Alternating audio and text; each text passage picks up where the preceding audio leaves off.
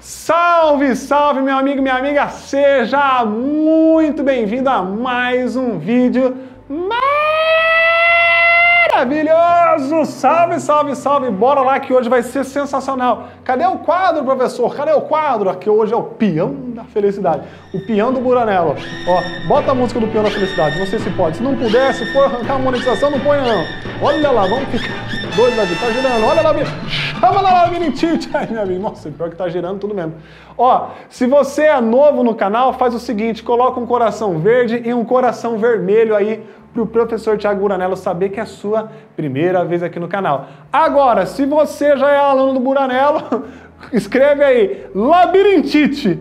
Se você já é aluno do Buranello, escreve aí labirintite para eu saber que você já é meu aluno, que você já assiste meus vídeos. Coloca aí, chama lá labirintite, meu amigo, chama lá labirintite. Olha só, tô, tô girando tudo aqui, meu amigo. Ó, sou legalzão hoje aqui. É o seguinte, meu povo, nós vamos falar sobre o quê? Nós vamos falar hoje, interrompi a aula aqui, hoje eu vou fazer um vídeo para conversar com você. Olhe bem para os meus olhos. Ó, close, close, close, close. Nós vamos falar sobre a dúvida que paira no ar. O Enseja vai ser em abril e o Enem nos primeiros meses do ano que vem. E aí, eu posso fazer o Enem antes do Enseja, porque tem aluno que já tinha feito a inscrição do Enem, já fez a inscrição do Enem, pensando assim, bom, vou fazer o Enseja para concluir o ensino médio, vou fazer o Enseja lá em agosto né, de, de 2020, esse ano vou fazer o Enseja, e depois eu vou fazer o Enem já para pegar aquela nota e pum, pular para a faculdade. Mas a pandemia, a pan, pandemia fez o quê? A pandemia apareceu, o, o Enem tá lá para o começo de 2021 e o Enseja para abril de 2021. E aí a dúvida da galera é, professor Buranello, eu posso fazer o Enem mesmo assim? Vamos à resposta agora. Mas antes, uma limpada aqui no nariz. Galera, a resposta é a seguinte: você. Parece que eu vou falar não, né? Você pode sim fazer e deve fazer o Enem, desde que você já tenha feito a inscrição, né? Porque tem gente que é louco e fala assim: ah, não, nossa, eu vou fazer o Enem, então você fez a inscrição? Não. Então como é que você vai fazer? Então, se você já fez a inscrição para o Enem, pode fazer tranquilo. Ah, mas professor, mas eu não terminei o ensino médio ainda, o que eu vou fazer? Cara, no dia da prova, ninguém vai chegar lá em você e vai falar assim, é, é vou fazer outra voz, né? É, você poderia dar, por favor, o seu certificado de, de ensino médio, fazendo favor? Nada a ver. Nada a ver. Tanto que, pensa comigo, pensa comigo, a galera que faz o Enem também é a galera que está no terceirão. Ou seja, a galera do terceirão não terminou o ensino médio. É, não terminou o ensino médio. Ah, professor, mas em 2021 vai ter terminado, vai terminar. Não, mas as escolas, às vezes, no terceirão vão estender um pouco as aulas, porque, porque essa mudança dos vestibulares só acontecerem lá no começo de 2021. Então, tem gente que vai é, no, do ensino regular que também é, não terminou o ensino médio ainda. E você que está no, no Enseja pensando nesse ensino supletivo, você pode fazer tranquilamente então. Porque no dia da prova eles vão pedir para você documentos de identificação. Vão pedir ali é, algum documento com foto, né? RG, né? Ou carteira de motorista. É, ó, o CPF, por exemplo, não, não tem foto, então não pode. Ou passaporte. Então você tem que apresentar algum documento seu que tenha foto.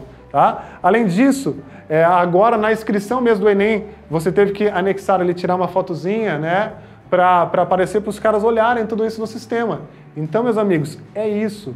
Tá? Eles vão pedir esses documentos de identificação, vão pedir ali, você vai ter que estar com a sua caneta preta de tubo transparente, vai ter que estar é, com o cartãozinho de confirmação da inscrição para você saber que sala que você está.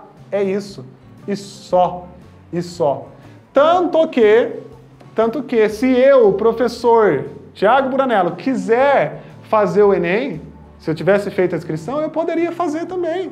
Por que, que eu poderia fazer também? Porque é aberto. Eu vou lá com meu CPF, beleza, faço a inscrição e eu poderia fazer a prova. Então ninguém quer saber de nada, tá? Então faça tranquilamente o Enem. E aí depois você vai fazer a prova do Enseja. Faça a prova do Enseja em abril.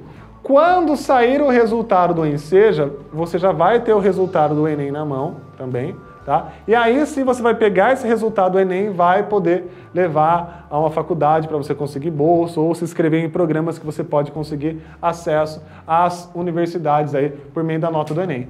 Então faça tranquilo. Agora, qual é a dica que eu dou? Tá? Apesar das questões terem as mesmas estruturas, né?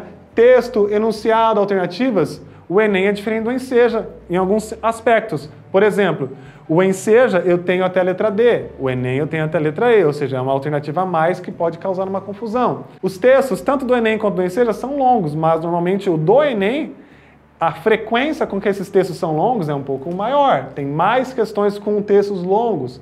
Tá? O nível de dificuldade, na prova de linguagens ainda eu não acho que o nível é muito gritante diferente, mas em outras matérias o nível é um pouco maior. A língua portuguesa, sim, tem uma dificuldade maior em relação a seja, o Enem é mais difícil. Mas é, é, não é a mesma coisa. Por que, que eu estou falando isso? Porque eu tenho que te preparar para o seguinte. Às vezes tem gente que vai fazer a prova do Enem primeiro e depois fala assim, nossa, não quero fazer o Enseja não, nossa, muito cansativa. Gente, é outra pegada. É outra pegada. Ah, e a redação, Tiago Burano? A redação é igual. A estrutura da redação, tanto do Enem quanto do Enseja, é igualzinho. Então, por isso que aqui no meu canal você pode estudar tanto para o Enem quanto para o Enseja. O que é que muda da redação do Enem para o Enseja? Muda o valor. No Enem vale mil, no Enseja vale 10. E alguns critérios são mais maleáveis no Enseja. Por exemplo, lá na proposta de intervenção, que é o quarto parágrafo da redação, no Enem, eles exigem que você coloque cinco coisas. Que isso aí, já tem um vídeo aqui no meu canal falando sobre proposta de intervenção. E no Enseja, dessas cinco coisas que tem que colocar, você tem que acertar pelo menos três. Então eles deixam você errar duas coisas. Então tem essas coisinhas diferentes, mas o formato do texto é o mesmo. A sequência que você vai usar é a mesma, colocar primeiramente a dias portanto, quatro parágrafos, etc. Ok? Fechou? Então, respondida a pergunta. Será que eu posso fazer então o Enem antes do Enseja, mesmo não tendo ainda o certificado de ensino médio? Pode e deve faça o Enem tranquilamente, depois faça o Enseja, pega seu certificado, pega a nota do Enem e bora para a faculdade. Mas não se esqueça, vai fazer as duas provas? Redobrar a atenção.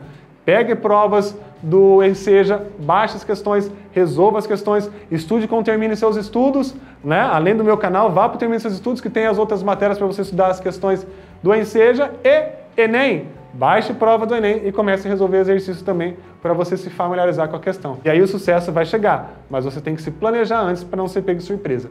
Fechou? Deixa o seu like, se inscreva no canal e corre lá para o Insta, meu amigo, arroba Thiago Buranello. Beijos e abraços, até o próximo vídeo. Tchau, tchau, tchau, tchau, tchau.